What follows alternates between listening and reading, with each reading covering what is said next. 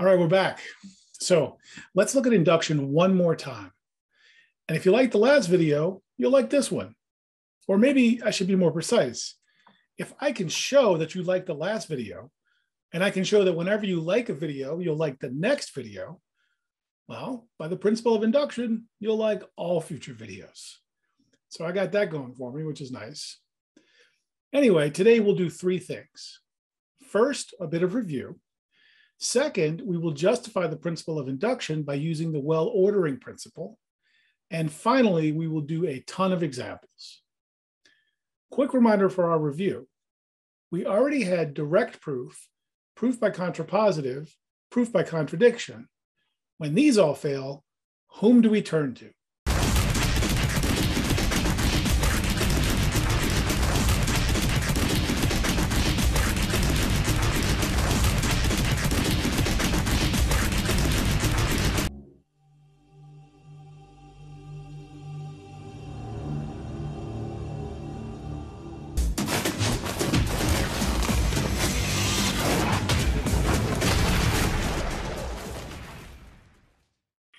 As you saw from that highly technical and completely mathematical demonstration, induction is a powerful tool, especially when we are being asked to prove that a proposition holds for all natural numbers.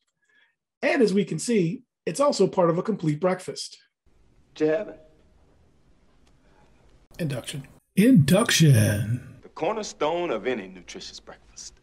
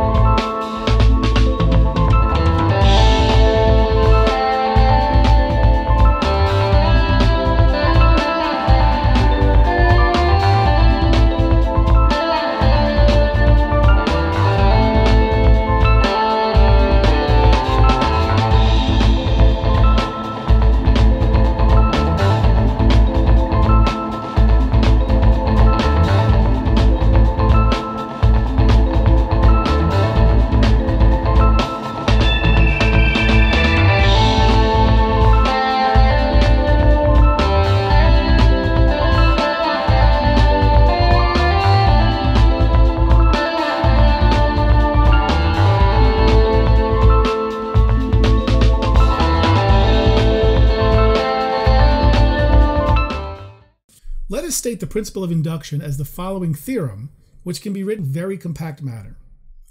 If we know that P1 is true, and whenever P is true for a particular K, it is also true for K plus 1, this gives us that P of n is true for any n in the natural numbers. Another way of saying this, an induction proof has two steps. The first step is the base case, which is to establish that P of 1 is true. The next step is the induction step, which means we assume that P of k is true, and then we show that this implies that pk plus 1 is true. Now, of course, this last step is an implication, and in different contexts, we might prove the induction step directly, or by contradiction, or by the contrapositive, whatever happens to be the most convenient. Okay, if we have that P of 1 is true, and for all k in the natural numbers, p of k implies p of k plus 1, then the idea behind induction goes like this. Let's think of the natural numbers as sort of like a chain of beads going off to the right. 1, 2, 3, and so forth. We know that 1 is true because we have p of 1 is true. We know that 2 is true because p of 1 implies p of 2, and p of 1 is true. We know that 3 is true because P of 2 implies P of 3, and 2 is true. We know that 4 is true because P of 3 implies P of 4, and P of 3 is true. Following this sort of logic, we can get to any n in n steps. We say that a set of real numbers is well ordered if every non-empty subset has a minimum element. We take as an axiom that the natural numbers is a well-ordered set. What that specifically means is that every set of natural numbers has a least element. Now you might ask, how can we take this as an axiom? How do we know that the natural numbers have this property? In fact, when one constructs the natural numbers from the basics of set theory, one can show that the natural numbers are well ordered, and in some sense, the natural orders are constructed to have this property. This is kind of a subtle point that we won't talk about too much in this class. So from the standpoint of where we are now, let us just take as an axiom that the natural numbers are well ordered, which again specifically means that any set of natural numbers has a least element. Now we're going to prove the principle of induction, and we're going to use a proof by contradiction. Specifically, let us assume that P of 1 is true. Let us assume that P of k implies P of k plus 1 for all k in the natural numbers. And let's assume that the conclusion is false, such that for all n p of n is a false statement. Remember the rules of negation means that the negation of for all n p of n is there exists an n such that p of n is false. So let's let S be the set of all natural numbers such that P is false. So the set of all Q and N such that P of Q is false. By assumption, S is non-empty. By the well-ordering principle, S must have a least element. Let's call it R. So what we have is that P of R is false because R is in S, but P of R minus 1 is true because r minus 1 is not in S because r is the least element of S. But we also have that P of r minus 1 implies P of r. These cannot all be true. There's a contradiction here. Since we've reached a contradiction, that means that our original assumption was wrong. Did you have it? Induction. Induction. The cornerstone of any nutritious breakfast. That's right, good. You mind if I have Well ordering principle. To wash this down. go right ahead? There's an interesting principle, or even a meta principle, that applies here, and this is more general than induction.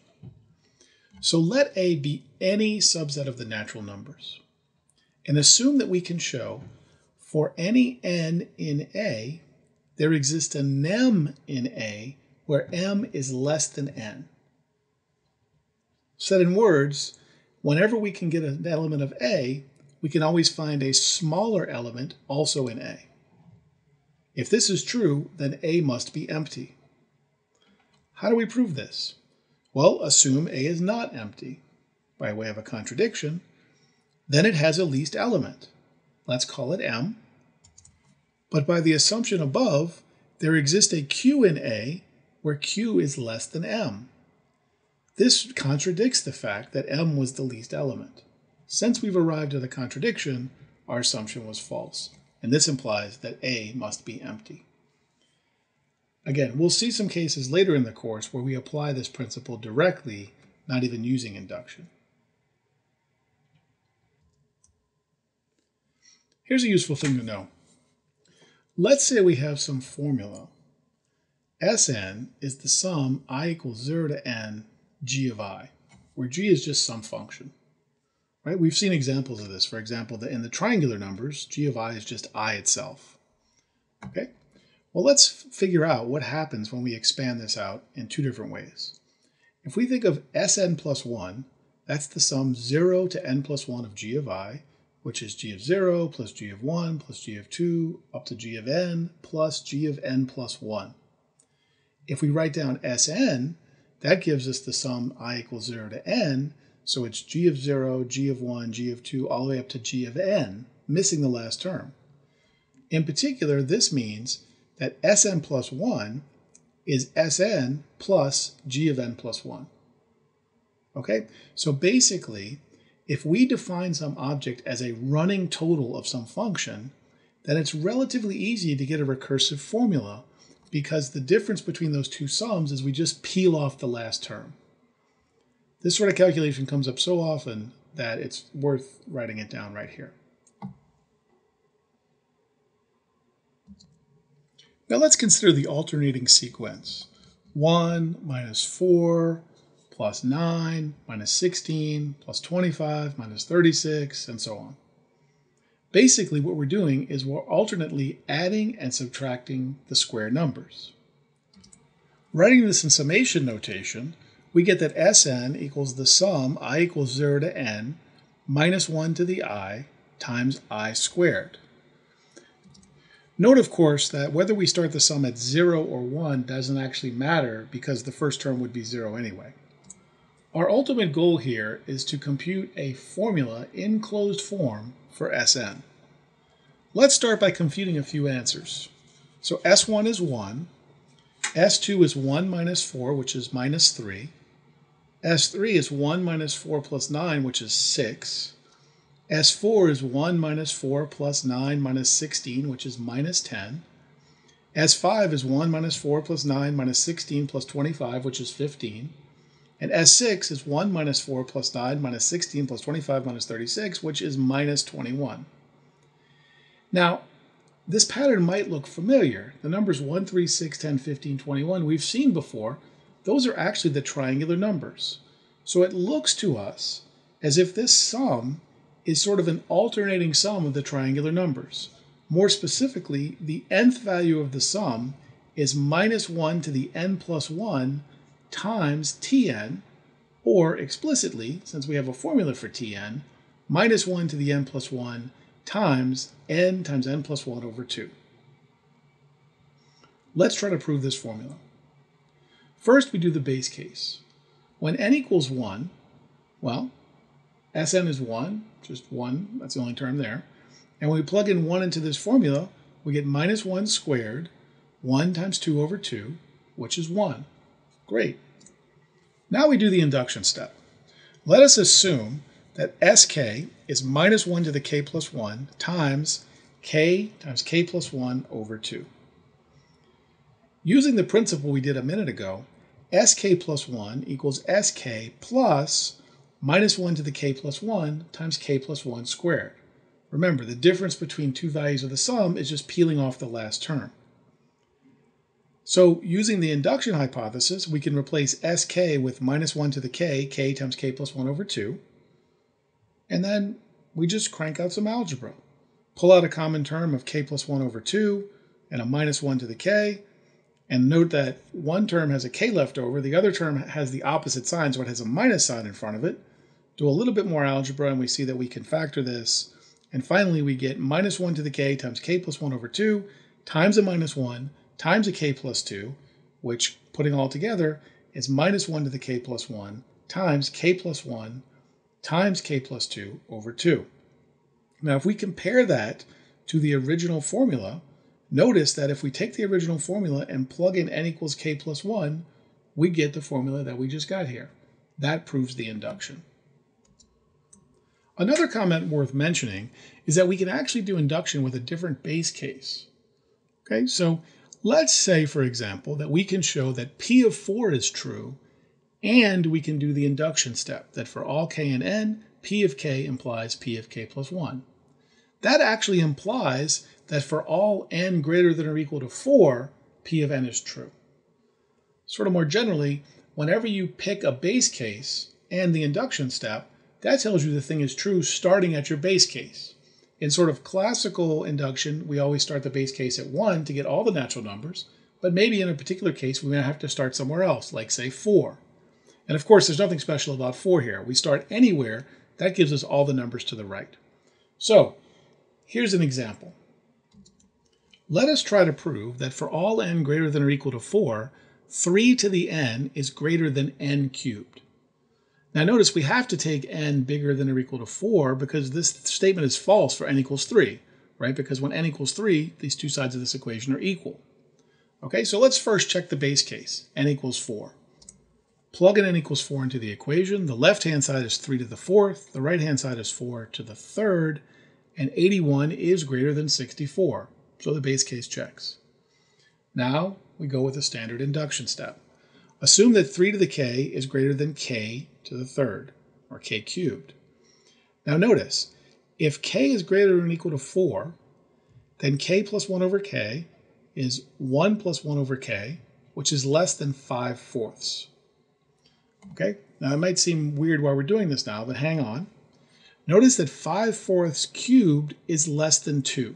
You can plug this in a calculator and check it yourself. Okay, so what does that mean? That means that k plus 1 cubed, which I can write as k plus 1 over k cubed times k cubed, this is less than 2k cubed if k is greater than or equal to 4. So notice we're sort of cooking up a recursive relation on purpose, because remember, the recursive relation is what we want. Now we're able to do the proof. So 3 to the k plus 1 is 3 times 3 to the k, which is clearly greater than 2 times 3 to the k, which by the induction hypothesis is greater than 2k cubed, which by the thing we did before, when k is greater than or equal to 4, is greater than k plus 1 cubed. And if you look at this entire chain of inequalities using the leftmost and the rightmost term, we've shown that 3 to the k plus 1 is greater than k plus 1 cubed, and we are done. Okay, one more example. What do we get when we add 1 plus 2 plus 4 plus 8 plus 16 all the way up to some power of 2? So here we're just adding powers of 2. Writing this in summation notation, what is the sum i equals 0 to n 2 to the i? Okay, well let's, let's check a few. 1 plus 2 is 3, 1 plus 2 plus 4 is 7, 1 plus 2 plus 4 plus 8 is 15, 1 plus 2 plus 4 plus 8 plus 16 is 31. And if we look at those, we might notice that each of these is one less than a power of 2. In fact, the next power of 2. So here's our conjecture.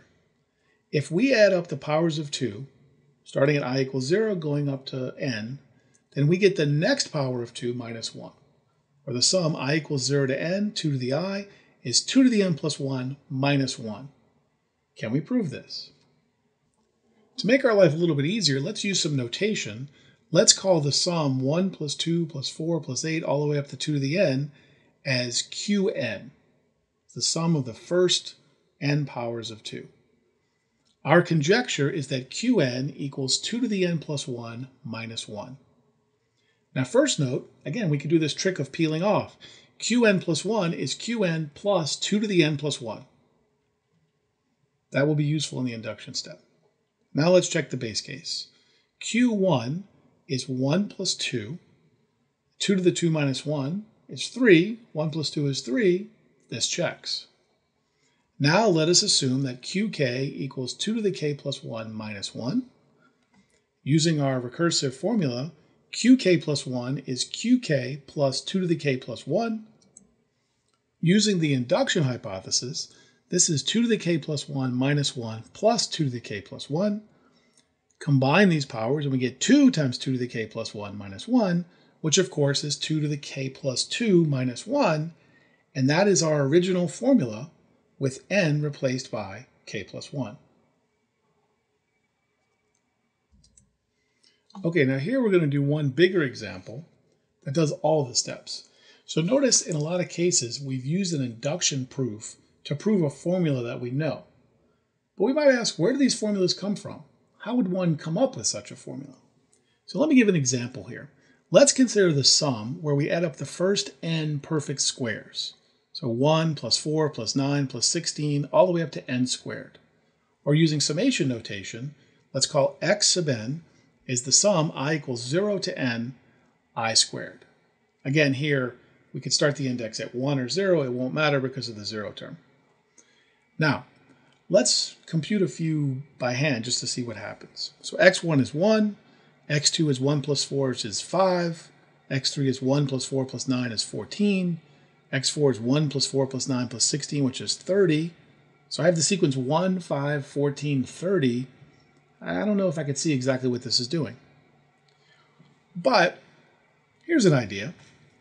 Let's make a guess, or if we want to sound fancy, an ansatz, that xn is a cubic polynomial in n. Now you might say, where does that come from? And at this stage, it's just a guess. But it's actually not so crazy, right? We know that if we integrate the function x squared, we get some constant times x cubed. In fact, the constant is a third, but that's not so important now. If we integrate any quadratic polynomial, we get a cubic polynomial. Well, integration is something like adding.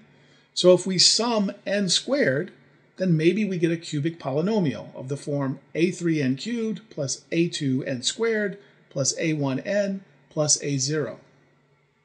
Is that possible? Okay, now if xn has the form of a cubic polynomial, and at this stage this is a really big f, what must be true? Well, if this works for all n, it'll certainly work for the first 4n. So let's plug the numbers in. If I plug in n equals 1, xn is 1, and if I plug in n into our formula, I get a0 plus a1 plus a2 plus a3, because all of the n's are 1. If I plug in n equals 2, the sum is 5, and I get a0 plus 2a1 plus 4a2 plus 8a3, because now n is 2. If I plug in n equals 3, the sum should be 14, and that's a0 plus 3a1 plus 9a2 plus 27a3. And finally, n equals 4 is 30. This is a0 plus 4a1 plus 16a2 plus 64a3. So all we need to do is solve this system. Now, admittedly, this is a complicated system to solve, a lot of details, but it is just a bunch of linear manipulations, and we can get to a solution. Three hours later. And we see that the solution of this is a0 equals 0, a1 equals 1 sixth, a2 equals 1 half, and a3 equals 1 third. You can check if you don't believe me, but this actually works. Okay, so now if this formula is true, that would imply that xn is n cubed over 3 plus n squared over 2 plus n over 6. Let me factor out a 6, and let me factor this polynomial. 1 power of n pulls out, and then by squinting this a little bit, we see that this is 2n plus 1 times n plus 1. So this would be our conjecture. xn is n times n plus 1 times 2n plus 1 all over 6. Now notice, we have not yet proved this. We still need to prove this. What we have shown is that if xn has the form of a cubic polynomial, this is the cubic polynomial it must be, but we still haven't established that if. So now it's time for induction. So let's repeat our conjecture. xn is n times n plus 1 times 2n plus 1 all over 6. And remember, we can get a recursive formula by peeling off the last term. xn plus 1 is xn plus n plus 1 squared. Let's go ahead with the proof. The base case, x1 is 1, and when I plug 1 into the formula, I get 1 times 2 times 3 over 6, which is 1. For the induction, let's assume the formula holds for k. xk equals 1 6 times k times k plus 1 times 2k plus 1. So xk plus 1 is xk plus k plus 1 squared, which is 1 6 k times k plus 1 times 2k plus 1 plus k plus 1 squared. Let's pull out a factor of 1 6 and I pull out a k plus 1, and we're left in the middle with k times 2k plus 1 plus 6 times k plus 1. Do a little bit of algebra, recombine that polynomial in the middle, and if we look at that, we can notice that the polynomial in the brackets factors as k plus 2 times 2k plus 3. Is this good or bad? Well, let's check. If we take the original formula, xn is n times n plus 1 times 2n plus 1 over 6, and replace an n with k plus 1, what do we obtain? K plus 1 times k plus 2 times 2k plus 3 over 6, and these match. Therefore, we have proved the theorem. That's probably a good place to stop, so I'll stop there.